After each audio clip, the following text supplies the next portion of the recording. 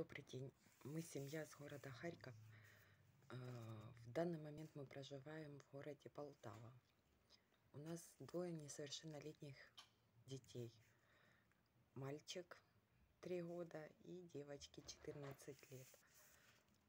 А, Переехали в Полтаву 26 марта, потому что в Харькове стало уже невыносимо.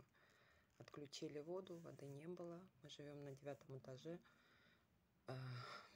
У нас повыбивало окна от удара ракетой. А, И пришлось взять все необходимое и выехать.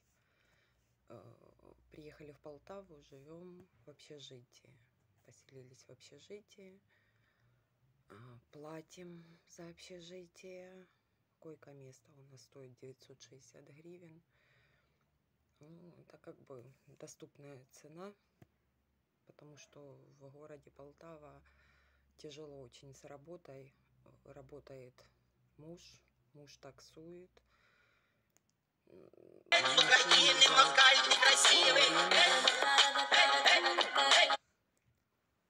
Машину он взял в аренду, ну, чтобы зарабатывать хоть какие-то деньги.